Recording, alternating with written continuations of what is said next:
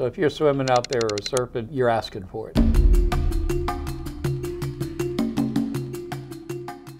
My name is George Burgess. I, I, serve as director of the Florida Program for Shark Research. Certain places uh, are, are, certainly more dangerous than others if you're going to bring your, your, your, family or yourself into the water. Uh, off of New England now, white sharks are beginning to come back uh, uh because seal colonies are now coming back. In the 1800s, 1700s in the United States, there were very abundant populations of, of seals and sea lions, and they were hunted uh, a lot. Uh, back in 1972, the Marine Mammal Protection Act was enforced in the United States, which allowed uh, all of these animals to begin their recovery.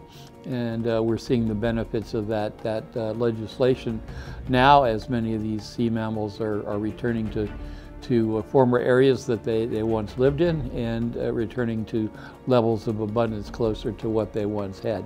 Of course, as that happens, uh, a large uh, predator such as a white shark, which loves these things as, as, uh, as meals as adults, are going to be following. Uh, while we're happy to get those sea mammals back, we also need to be cognizant that uh, some of these large predators now will be nearby. And beaches that we have owned for 100 years because there are no seals around are now going to begin to be inhabited by those seals and we may have to uh, move up or down the beach a little ways to go swimming from now on.